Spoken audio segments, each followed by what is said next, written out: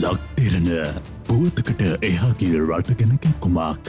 මෙන්න විශේෂ පුවතක්. කැලනිය විශ්වවිද්‍යාලයේ සිසු විරෝධතාවයක් විස්සරුව හැරීමට පොලිසිය ජලහා කඳුළු ගෑස් ප්‍රහාරයක් එල්ල කර තිබෙනවා. අත්තඩංගොඩගත් කැලනිය විශ්වවිද්‍යාලයේ මහා ශිෂ්‍ය සංගමය සභාපති කැලුම් මුදන්නායක සහ දිල්ශාන් හර්ෂණ නිදහස් කරන ලෙසට ඉල්ලා සිටිමින් එම සංගමය විශ්වවිද්‍යාලයේ ඉදිරිපිටදී මෙම විරෝධතාවය ආරම්භ කර තිබුණා. කැලණි විශ්වවිද්‍යාලයේ මහා සංගමයේ විදියට මහා සංගමයේ වගකීම යටතේ අද දවසේදී මෙවැනි විරෝධතාවයක් සංවිධානය කරන්නේ කැලණි විශ්වවිද්‍යාලයේ මහා සංගමයේ සභාපති කැලුම් මුදන්නායක සිව්වන වසර කණ්ඩායම් නායක දිල්ෂාන් හර්ෂණ.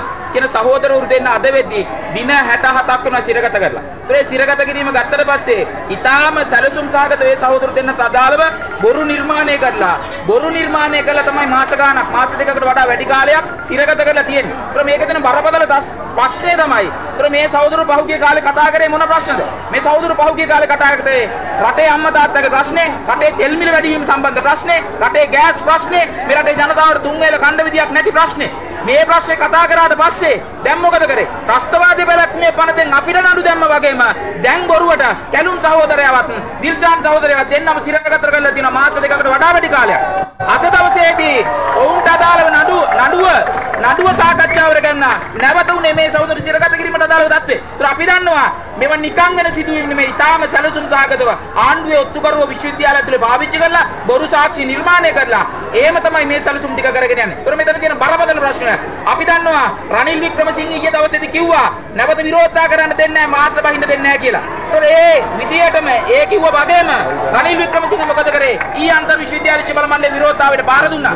ඒ විරෝධතාවයට පාර දුන්නොත් වැරදි කියලා කියපු කොළඹ විශ්වවිද්‍යාලයේ ශිෂ්‍ය සංගමයේ රත් දවසේදී පාර දුන්නා. එතකොට මේ විදිහට තමයි ආණ්ඩුව සැලසුම් සාගතව මර්ධනය අරගෙන යන්නේ.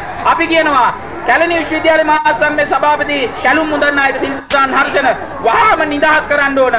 එහෙම නොවන ඕනෑම තත්ත්වයක් යටතේදී අපි පාරට එනවා. අද දවසේදී අපි මේ පාගමනින් මේ කැලණි විශ්වවිද්‍යාලය ඉස්සරහට ආවට පස්සේ ආණ්ඩුව මොකද කරේ? දැන් වටේ පිටේ පොලිසිය දාලා පොලිසිය දාලා දහස් ගණනක් දාලා පොලිසිය මාර්ග අවහිර කරලා තියෙනවා. දැන් පොලිසිය අපිට කිව්වා අපි අවහිර කරගෙන දැන් මොකද කරලා තියන්නේ? ආරක්ෂක අංශයි හමුදාවයි කුරුඳු පොළු හමුදාවයි ඇවිල්ලා දැන් අපිට ගහන්න සැරසෙනවා. හැබැයි අපි කියනවා රනිල් වික්‍රමසිංහට ඊටාම ප්‍රජාතන්ත්‍රවාදී අයිතියක් විදියට අපි ආවේ මීටර් 50යි කැම්පස් එකේ ඉඳලා මහපාට.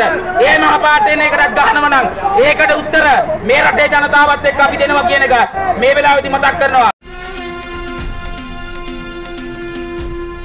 ලක්තිරණ පුවතකට එහාගේ රටගෙනක කුමක්